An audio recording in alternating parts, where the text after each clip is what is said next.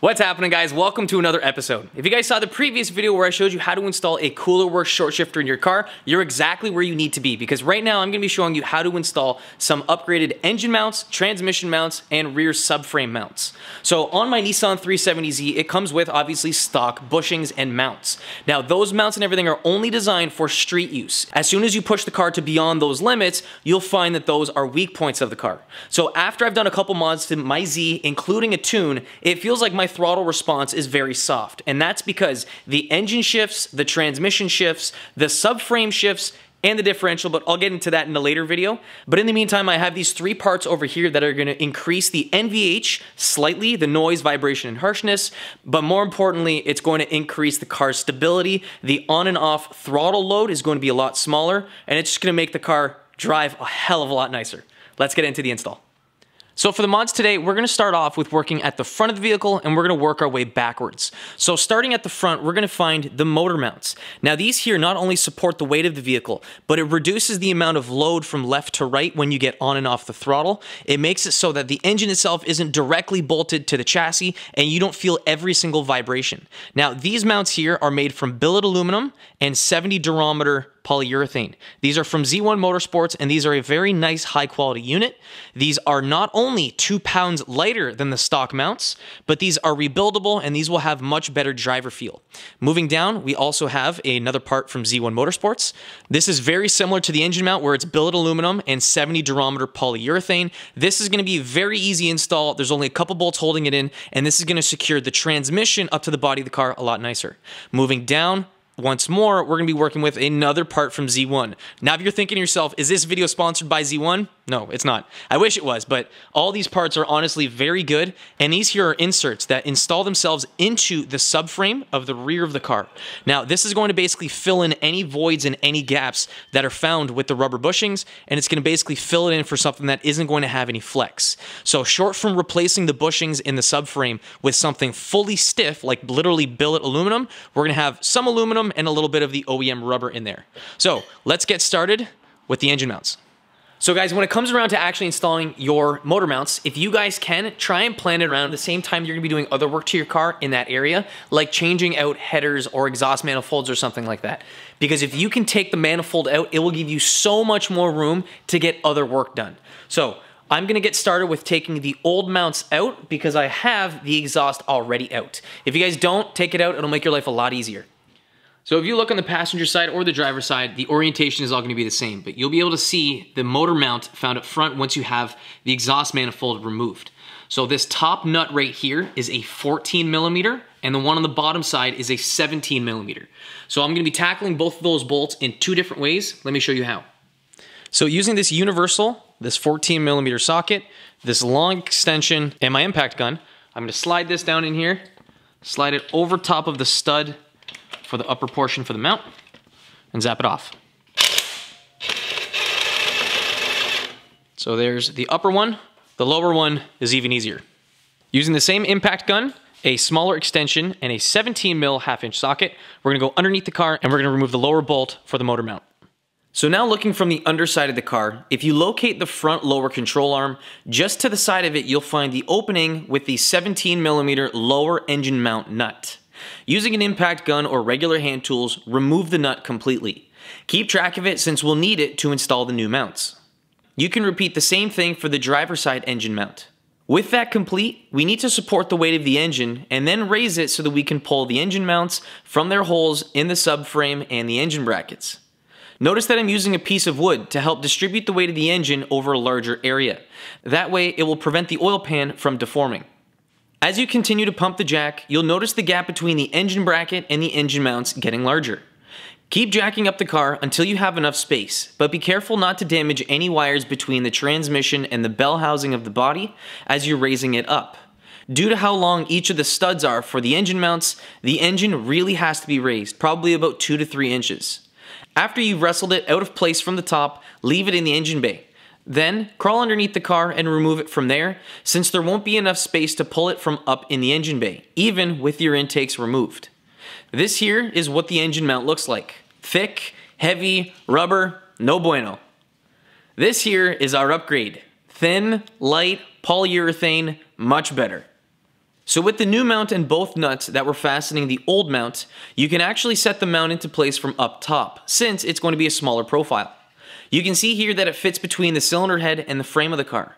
Now I found it easiest to rest the engine mount on top of the subframe with the top of the threads protruding through the engine mount bracket. It allowed me to thread the nut onto the threads. Following that, I lowered the engine until the weight of the engine was off the jack, and then the lower threads of the studs fell through into the subframe. That allowed me to slightly thread the lower nut onto the mount, that way the engine is technically secured to the passenger side. The reason why I did that is so that with the driver's side mounting hardware removed and the jack raising the engine, the engine will slightly rotate counterclockwise, which will give me more room to remove the engine mount without lifting the engine very high. Then instead of removing the engine mount from the back side of the subframe like we did on the passenger side, I pulled it from the front since the steering column was in the way, but I had to first move this wire. You have to snake it towards the front of the car and then around the sway bar. With the engine mount removed, we can swap it with our upgraded one. Z1 recommends applying blue thread locker onto both the upper and lower threads of the mount to ensure that any engine vibrations won't rattle the nuts off of the stud. With it applied and sitting in the engine bay, you can lower the engine so the weight is now off the jack. Now on the driver's side, there's this little bracket. Don't forget to mount it on top prior to fastening the hardware. The lower nut, you're gonna wanna torque to 68 foot-pounds. And then following that, the upper nut is gonna be torqued to 36 foot-pounds.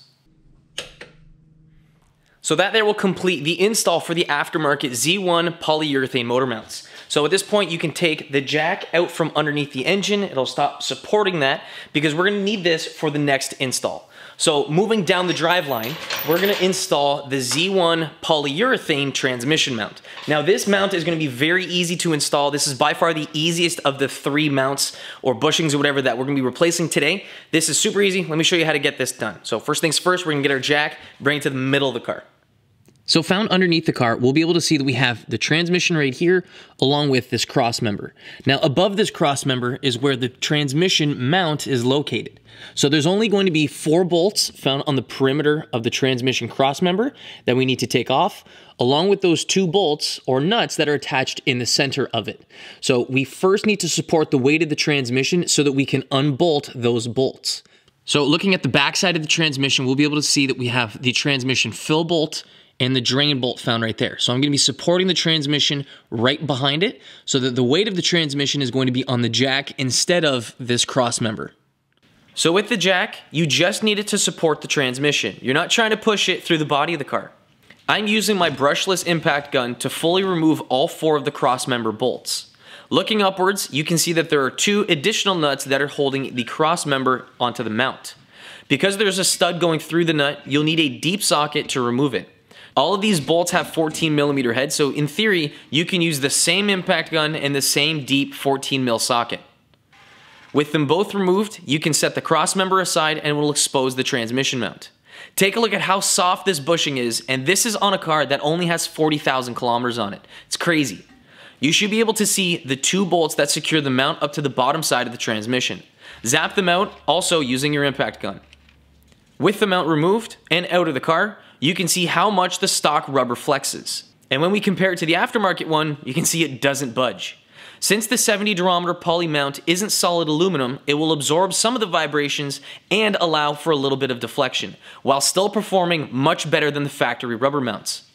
Getting back under the car with the mount facing forward, thread the bolts through the mount and into the transmission, and then torque them to the manufacturer's spec. You can follow it up by reinstalling the cross member and tightening it up to the upgraded mount with the two nuts. You won't be able to torque them until you have the cross member secured to the body.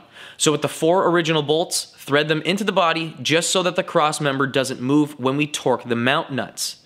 All of these bolts and nuts are torqued to the same spec, which is 36 foot-pounds. So ensure that you go over every bolt and make sure they're all properly tightened.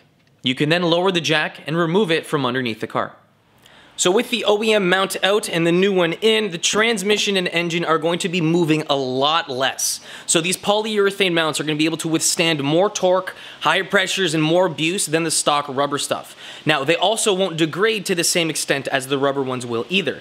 Now, the cool thing about these mounts too is that you can replace the polyurethane inserts without buying entirely new motor mounts. So if you ever need to rebuild them, it's cheap. So one really cool thing too is that with this engine and transmission mount setup, if you guys have an aftermarket shifter like this Coolerworx one here, you guys are gonna have it so that the shifter itself isn't going to be moving. When you guys ever do a burnout or anything like that, the engine isn't going to be loading and unloading and moving a lot, which means the shifter itself isn't going to be like literally moving inside the car. If you've ever done a burnout, you'll know exactly what I'm talking about. Now moving on to the next part, we're gonna be installing the Z1 subframe collars. Now these things are billet aluminum pieces that fit into the rubber bushings. Now you can replace the bushings themselves with different ones like polyurethane or even solid aluminum, but you have to drop the entire subframe and it's a good amount of work. I'm gonna get into that probably later when I do some more work in the rear end for maybe the differential, but in the meantime, these subframe collars shouldn't in theory take that long and the subframe itself doesn't need to be dropped for you to install these. Depending on which platform you have, you will have different lettered subframe collars. So these here are designed for a G37 or 370Z, and you'll notice I have B, C, and E. So these collars will go in certain spots in the car so that they reduce the amount of flexing in the actual subframe.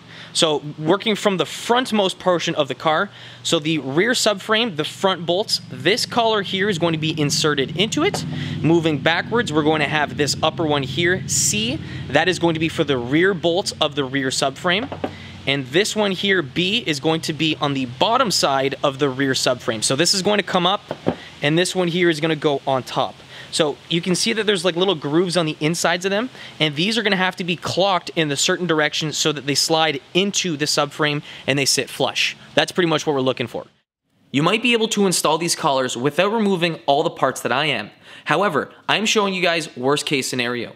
To allow the subframe to be lowered enough so that you can slide the inserts between the subframe and the body without actually dropping the subframe, all the chassis bracing needs to come off. The rear V-shaped brace has six bolts holding it into place. Two found at the rear, two found on the driver's side, and then another two on the passenger side. They all have 14 mil heads, so you won't need to change out sockets while taking this off. What I didn't realize is that with my axle back section of my exhaust still installed on the car, it won't give me enough space to remove the brace, so it's gotta come out.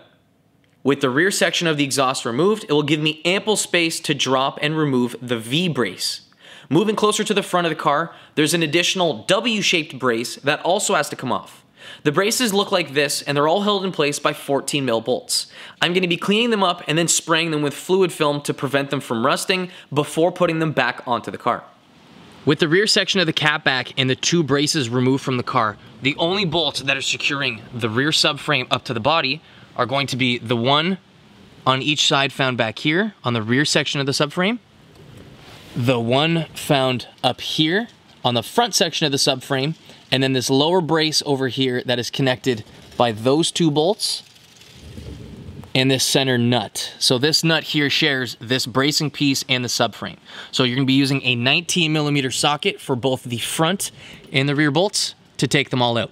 So with them like this, they're very easily accessible. Just get an impact, loosen up the nut a little bit just so that it's basically to the bottom side of here. We're gonna lower it on all fours so the subframe lowers down and then basically start working on one side at a time. To disconnect this front brace attached to the rear subframe, just zap off these two bolts. Then switching to my larger impact gun with a larger 19 millimeter socket, we can lower the subframe. So each of the four nuts that are securing the subframe up to the body, we just have to loosen them. Considering how long each of the studs are, we can install these inserts without fully removing the subframe. I'm loosening them up just a bit at a time so the subframe lowers relatively square. I wouldn't suggest going full send on one side and then full send on the other. Now when you get around to lowering the rear section of the subframe, the extra rear brace might need to come out. It's just held in place by a couple other bolts, they're 14 mils, by the way, if you do decide to fully remove the rear nuts, which is also securing in this rear brace, you should support the weight of the subframe with a jack. Beginning with the rear of the subframe, slide the billet collar that's labeled C on top of the rear bushing. I have the opening facing towards the outside of the car.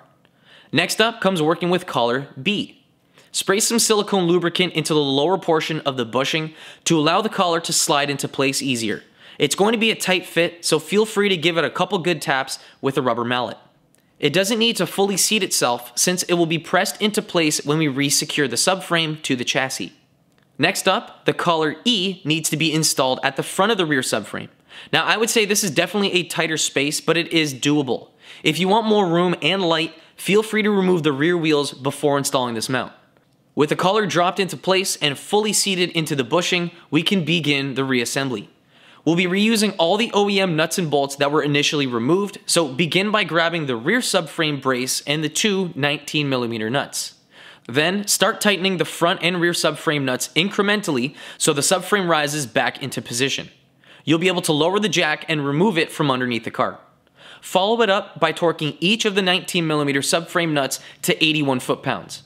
It's very important that they're properly secured into place, so be sure that you're using a proper torque wrench and don't just go full send with an impact gun. It's the same spec for the front and rear nuts, so tighten those nuts until you hear a click.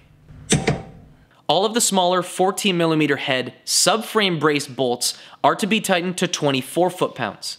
The smaller brace like the W brace, the V brace, and the front subframe brace, they're all 24 foot-pounds. So set it once and go over every one of these 12 bolts. So guys, that there will pretty much complete the install. I just need to bolt up the rest of the exhaust system back on the car, and then we can go and take this thing out for a rip. Alrighty guys, so it's been about two weeks since I've installed the mounts on the car, and I gotta say, it makes an insane difference going from stock to everything here. Now, all of this is after having an EcuTek upgraded tune on the car, which remaps the throttle map so you have better throttle response. Now, the issue is, is that you still have soft engine mounts, soft transmission mounts, soft subframe mounts, and differential mounts. Now, that means that anytime that you go from either on-load to off-load, you have to wait for all of those mounts to torque up before the car actually gets going. So, with these mounts, that's not the case. It's almost entirely solved. So I still have the rubber bushing inside the subframe with now the aluminum that's filling in those voids. And I also have the rubber bushing that's found for the differential. But it makes a big difference. So let me show you how little the subframe moves and how much the differential moves. So the differential still needs to be upgraded. That's gonna be for a future video, but check this out.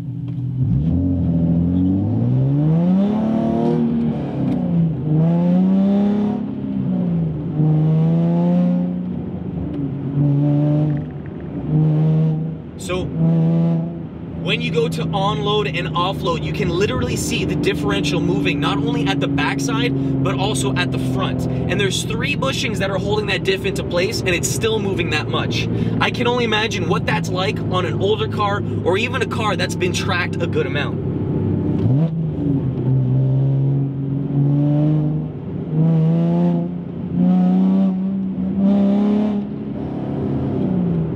Now, typically when you go to an upgraded polyurethane or subframe engine mount and transmission mount, usually the car feels like a race car. It's not exactly the most livable thing to deal with in the world.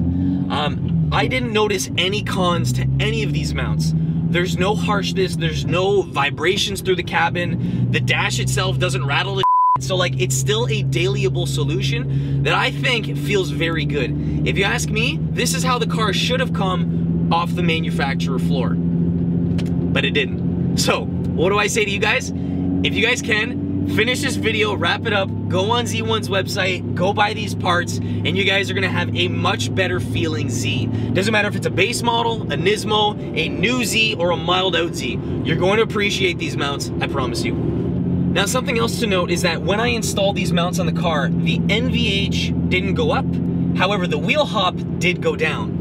Wheel hop is something that you'll experience if you guys have a rear wheel drive car, even front wheel drive car with very compliant bushings. So if you push it or you, if you ever spin the tires out, the bushings themselves will load and unload with the wheel spinning. And what that does is the entire rear end, if it's a rear wheel drive car, or front end for a front wheel drive car, will feel like it's hopping. You'll be able to feel it in the pedals and in the steering wheel. It's not exactly the most comfortable thing in the world. If you guys keep pushing it with it wheel hopping, that's where you can actually snap axles and control arms. Not a fun time. Um, after I drove this car for a good 100 kilometers, I brought it home and I retorqued the rear subframe. So the rear subframe not only did not use Loctite, but I think that the collars themselves seated more into the bushing and I needed to retorque those for it to be properly tight because it was kind of loose. But with that being said, guys, I would 100% recommend this. I wish I bought these things sooner. It's one of those mods that you'll appreciate whether it's a stock car or full-blown track car. If you guys have any further questions regarding the video, comment sections down there. You guys know what to do. Thanks for watching. I'll see you in the next one.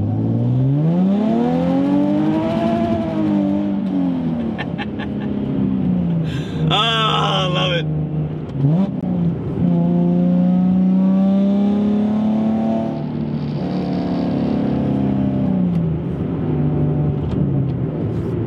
For you guys that stayed to the end, next video is an exhaust video. Woo!